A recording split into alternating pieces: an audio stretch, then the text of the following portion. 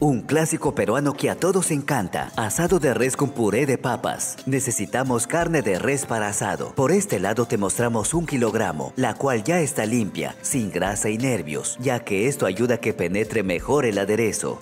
Con la punta de un cuchillo, realiza un orificio en uno de los extremos del asado e introduce los vegetales, como la zanahoria y apio. Repite el proceso con el otro extremo y reservamos. En una olla con aceite caliente, llevamos a sellar el asado por todos los lados. El asado de res con puré de papas es un plato clásico que no puede faltar en tu mesa, ya que la carne de res es una excelente fuente de proteínas de alta calidad, fundamentales para la formación y reparación de tejidos, la producción de enzimas y hormonas. Cuando ya esté doradito nuestro asado de res lo reservamos. Mientras tanto picamos las verduras para el aderezo, una cebolla mediana, dos tomates cortados en cuadritos sin piel ni semilla, Luego agregamos en la misma olla que doramos el asado, junto a media taza de apio picado, zanahoria en trozos, media taza de poro picado. También añade 3 cucharadas de pasta de tomate,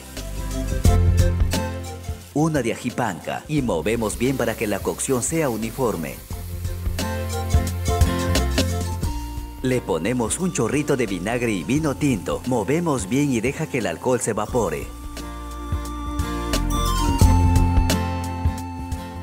Luego volvemos la carne a la olla y para aromatizar coloca ramitas de romero fresco. Cubrimos con caldo de res o agua y lo dejamos cocinar a fuego lento por dos horas o hasta que el asado esté suave.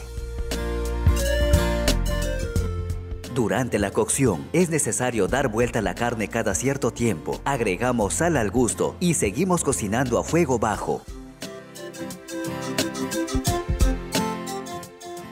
Ha pasado buen tiempo y el asado está suave, así que retiramos del fuego y deja reposar antes de fraccionar. Ahora sí cortamos en rodajas para darle la presentación clásica así de esta manera.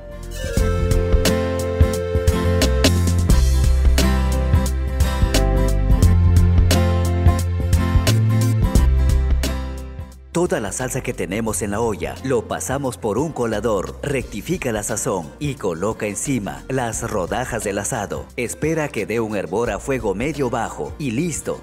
Sirve con arroz blanco y un puré de papa delicioso. Si llegaste hasta aquí viendo la receta, déjame un mensaje en los comentarios para enviarte un saludo caluroso en el próximo video. El saludo de hoy es para Laura Neira, Alejandro Rabanal y nuestros nuevos seguidores. Somos Iberoteca, navegando contigo.